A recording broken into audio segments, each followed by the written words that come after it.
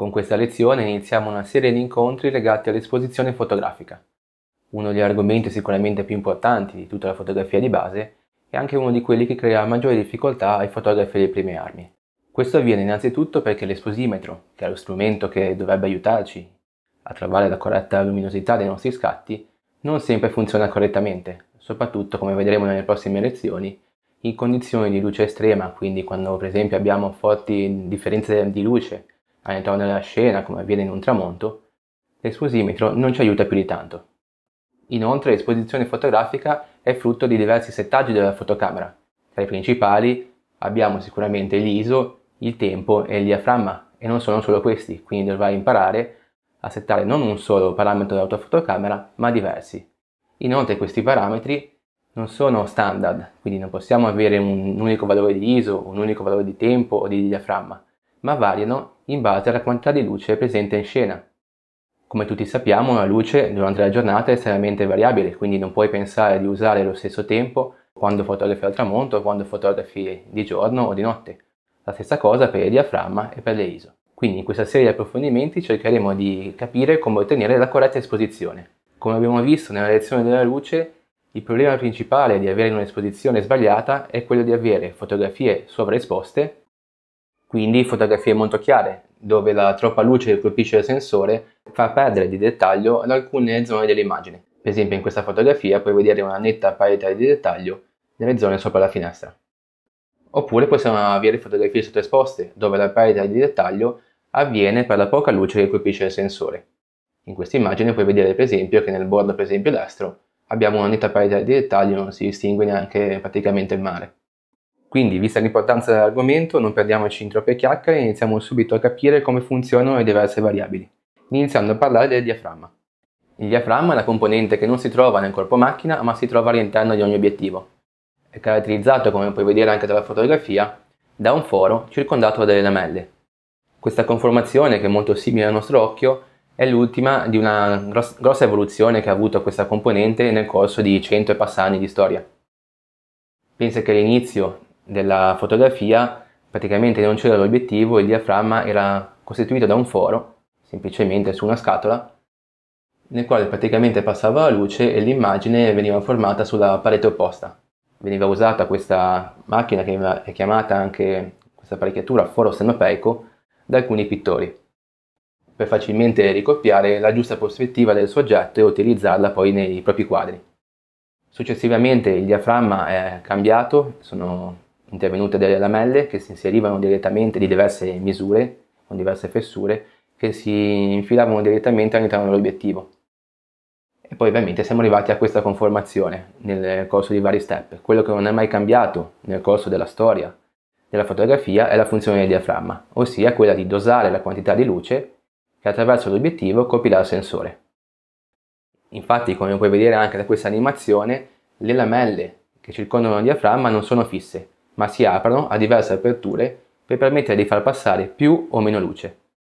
Ovviamente a grosse aperture avremo una grande quantità di luce che entrerà nella fotocamera, a piccole aperture avremo una minore quantità di luce che entrerà nella fotocamera. Ma quanto piccola e quanto grande? Per capire questo bisogna eh, inserire una nuova variabile, la scala dei diaframmi.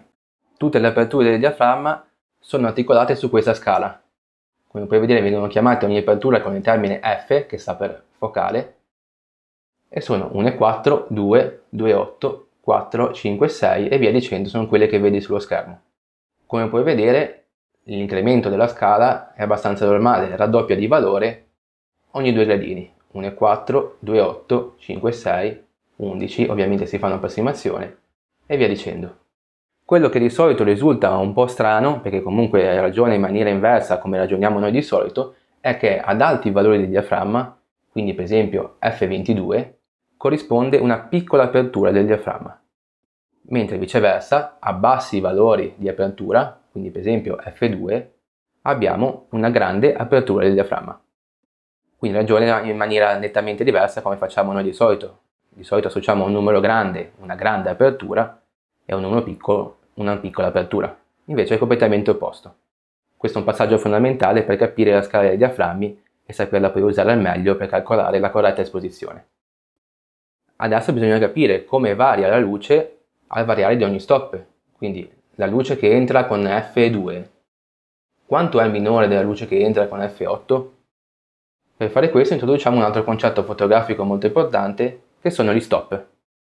Gli stop è un'unità di misura usata in fotografia che misura praticamente la quantità di luce presente in scena.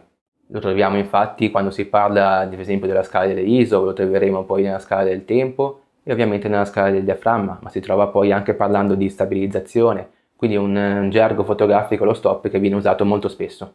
Gli stop fotografici presentano una scala 2, quindi vuol dire che ad ogni aumento di uno stop la fonte luminosa che colpirà il nostro sensore sarà raddoppiata.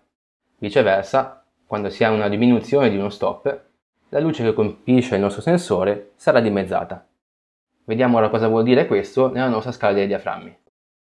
Vuol dire che la luce che colpirà il sensore a f2 sarà il doppio della luce che colpirà il sensore a f2.8. Questo perché abbiamo detto che ogni step di questa scala è uno stop, quindi tra 1 e 4 e F2 c'è uno stop, tra F2 e 2.8 c'è uno stop, tra 2.8 e F4 c'è uno stop e via discorrendo. Quando noi passiamo da F2 a F2.8 l'apertura del nostro diaframma decresce, quindi vuol dire che diminuiamo la luce. Diminuiamo di uno stop e quindi vuol dire che tra F2 e F2.8 avremo esattamente la metà della luce entrante. Viceversa, se noi facciamo una fotografia con F16 e poi facciamo un'altra fotografia con F11, la fotografia con F11 sarà ovviamente molto più chiara della fotografia con F16, perché avremo diminuito di uno stop la scala dei diaframmi e quindi il buco sarà più grande e passerà ovviamente più luce. Sembra un concetto difficile ma ti assicuro che è molto più difficile da spiegare che da vedere. Vediamo innanzitutto alcune fotografie. Questa serie di scatti l'ho realizzata qui in casa utilizzando una composizione semplice, alcuni giocattoli preferiti di mio figlio e vediamo come varia la luce presente in scena al variare del diaframma. Quindi tutti questi scatti qua sono stati fatti con lo stesso tempo, lo stesso ISO, l'unica cosa che cambia è l'apertura del diaframma. Quindi ricapitolando, salendo la scala dei diaframmi, la luce si dimezza a ogni gradino, mentre scendendo la scala dei diaframmi, la luce raddoppia a ogni gradino. Questo è un altro concetto fondamentale per capire la scala dei diaframmi. Vediamo ora cosa vuol dire un po' più tecnicamente il termine F in maniera molto generica perché comunque non voglio andare troppo nel dettaglio. F è semplicemente il rapporto tra la focale massima del nostro obiettivo diviso il diametro massimo dell'apertura del diaframma. Quindi, per esempio, vuol dire che se noi usiamo un obiettivo con focale di 100 mm e un'apertura massima di f2, vuol dire che l'apertura massima del nostro diaframma, di quel diaframma, sarà 100 diviso 2 uguale 50 mm.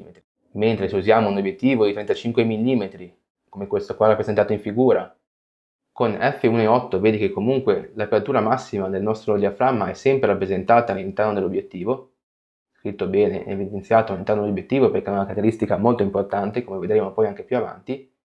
Quindi 35 la focale diviso 1.8 l'apertura del diaframma, avremo un'apertura fisica del nostro diaframma di 19,4 mm. Questo è solo per capire cosa si intende appunto con il termine F e come è nata la scala dei diaframmi e perché gli obiettivi sono così diversi sia per eh, forma, quindi per lunghezza diciamo del, dell'obiettivo, ma anche la lente anteriore è molto diversa, proprio per questo motivo, per uniformare tutti gli obiettivi su questa scala, in modo tale che ogni incremento di questa scala ci sia sempre un valore 2, quindi dimezzamento o un raddoppiamento della luce. La scala dei diaframmi la puoi vedere di solito nel barilotto degli obiettivi, anche se alcuni non la presentano, ed è ovviamente presente all'interno del nostro corpo macchina. Una cosa da fare attenzione all'interno del corpo macchina è il fatto che potreste avere una diversa scala dei diaframmi. Diversa in che senso? Semplicemente è una scala leggermente più accurata. Nella nostra fotocamera di solito abbiamo la funzione, come puoi vedere anche dal video, di diciamo, spezzare lo stop in o un mezzo di stop o un terzo di stop, quindi avere una scala con dei valori intermedi non avremo quindi solo F1.4, F2, F2.8 e via dicendo, ma avremo anche altri valori, F2.2, 2.5, 2.8, 3.2, come puoi vedere anche qui dal video. Dipenderà poi la scala a seconda che tu usi un mezzo di stop o un terzo di stop, quello dipende poi dai propri gusti, comunque dal proprio modo di fotografare.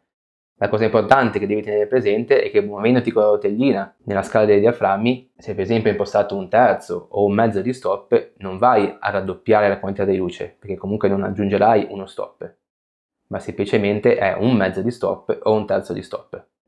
Questo fattore, come vedremo poi successivamente, è da tenere in estrema considerazione, perché potremo se non avere un calcolo dell'esposizione sbagliata quando ci baseremo sul triangolo dell'esposizione per trovare la giusta luminosità della nostra scena. Quindi, ricapitolando i concetti fondamentali che abbiamo analizzato in questa lezione, abbiamo che il diaframma si trova all'interno dell'obiettivo, che le lamelle del diaframma si muovono e quindi abbiamo delle diverse aperture per dosare appunto la quantità di luce che entrerà all'interno dell'obiettivo. Abbiamo che salendo la scala la luce si dimezza ogni gradino, mentre scendendo la scala la luce raddoppia ogni gradino, oppure si può dire che aumenta o diminuisce di uno stop.